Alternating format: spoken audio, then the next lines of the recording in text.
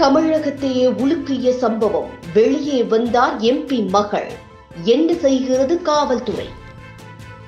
சென்னை பெசன் நகரில் கார் ஏற்றி இளைஞர் உயிரிழந்த சம்பவத்தில் விபத்தை ஏற்படுத்திய ஆந்திர மாநில ஒய்எஸ்ஆர் காங்கிரஸ் கட்சியின் ராஜ்யசபா எம்பி பீட்டா மஸ்தான் ராவின் மகள் கைது செய்யப்பட்டு அரை மணி நேரத்தில் ஜாமீனில் விடுவிக்கப்பட்டது. பாதிக்கப்பட்ட குடும்பத்தையும் பொதுமக்களையும் அதிர்ச்சியடைய வைத்திருக்கிறது. கார் ஓட்டிச் சென்ற பெண்ணால் ஒரு உயிர் பறி போயிருக்கிறது. அந்த பெண்ணை உடனடியாக கைது செய்ய கோரி வந்த அழுத்தத்தின் பெயரால் பெயரளவுக்கு கைது செய்யப்பட்ட நிலையில் உடனடியாக காரை ஏற்றிக்கொன்ற பெண் வெளியே வந்துள்ளார் என்றால் அந்த இடத்தில் கை மாறியது என்ன? இவ்வளவு விரைவாக அந்த பெண் வெளியில் வந்துள்ளார்? அப்படி என்றால் அவரின் தந்தை ஒரு எம்பி என்பதாலா? பதவி பணம் இருந்தால் அனைத்தும் சாத்தியமா? என்ற கேள்வி தற்போது அனைவரின் மனதில் எழுந்துள்ளது. தமிழகத்தில் இது போன்ற சம்பவம் அடிக்கடி நிகழ்ந்து வரும் நிலையில் தமிழக முதல்வர் ஸ்டாலினின் காவல்துறை மீதான அலட்சியமா? அல்லது காவல்துறையிடம் லஞ்சம் லாவண்யம் தலைவிரித்து ஆடுகிறதா என்ற கேள்வி தற்போது அனைவரின் முன் எழுகிறது. இளைஞர் மீது காரை ஏற்றியதோடு தட்டி கேட்டவர்களிடம் காரில் வந்த பெண் தகராறு செய்யும் காட்சிகள் நம் அனைவரையும் அதிர்ச்சியில் ஆழ்த்தியிருக்கிறது. பெசன் நகர் ஓடக்குப்பம் பகுதியைச் சேர்ந்தவர் இருபத்தி இரண்டு வயதான சூர்யா. கடந்த ஓராண்டிற்கு முன் வனிதா என்ற பெண்ணை திருமணம் செய்து கொண்டார். ஆட்டோ ஓட்டிக்கொண்டும் பெயிண்டராகவும் வேலை பார்த்து வந்த இவர் திங்கட்கிழமை பிற்பகல் கலாட்சேத்ரா காலனி வரதராஜ சாலை நடைபாதை அருகே மது போதையில் அப்படியே உறங்கிவிட்டார் அப்போது அவ்வழியாக சென்ற கார் ஒன்று சூர்யாவின் மீது ஏறி இறங்கியதில் அவர் படுகாயமடைந்தார்.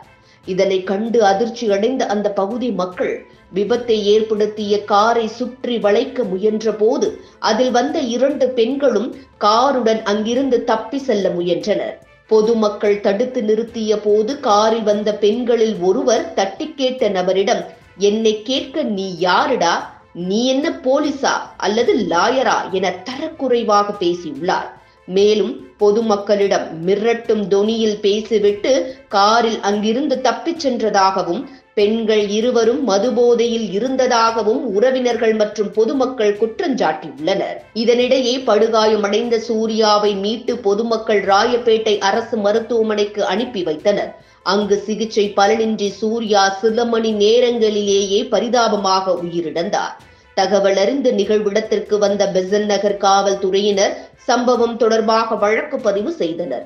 விபத்து நடைபெற்று பல மணி நேரம் ஆகிய நிலையில் சிசிடிவி காட்சிகள் கார் பதிவெண் தப்பியோடிய பெண்களின் புகைப்படம் ஆகிய ஆதாரங்கள் இருந்தும் அவர்களை ஏன் கைது செய்யவில்லை என கேட்டு இளைஞரின் மனைவி உறவினர்கள் மற்றும் பொதுமக்கள் நள்ளிரவில் பெசன் நகர் காவல் நிலையத்தை முற்றுகையிட்டனர்.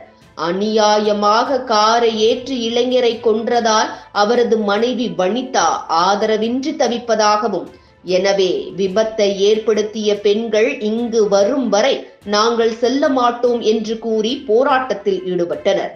தாங்கள் ஏழை எளிய மக்கள் என்பதால் தங்களுக்காக கேள்வி கேட்க யாரும் இல்லை என்ற தோரணையில் விபத்தை ஏற்படுத்திய பெண் பேசியதாகவும் எனவே தங்களுக்கு நீதி வேண்டும் எனவும் உயிரிழந்த இளைஞரின் உறவினர்கள் வலியுறுத்தினர்.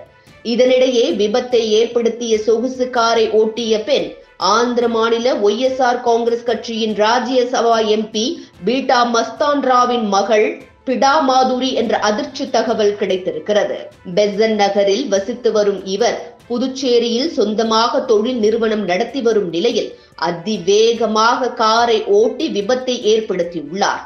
இதனைத் தொடர்ந்து கண்காணிப்பு கேமராவில் பதிவான காட்சிகளின் அடிப்படையில் வாகனத்தை கண்டுபிடித்த போலீசார் பேட்டா மாதுரியை கைது செய்தனர். இதனையடுத்து சென்ற அரை மணி நேரத்தில் காவல் நிலைய பிணையில் போலீசார் அவரை விடுவித்தனர் போலீசாரின் இந்த செயல் சாமானிய மக்களை அதிர்ச்சிக்குள்ளாக்கி இருக்கிறது கைது செய்யப்பட்டவர் எம்பியின் மகள் என்பதால் அவரை தப்பிக்க வைக்க போலீசார் முயற்சிக்கின்றனர் என்ற கேள்வியும் எழுந்துள்ளது.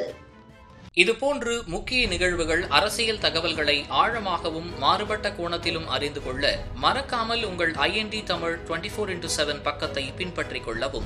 உங்கள் ஒவ்வொரு ஆதரவும் இதுபோன்று பல நிகழ்வுகளின் பின்னணியை அறிய உதவும்.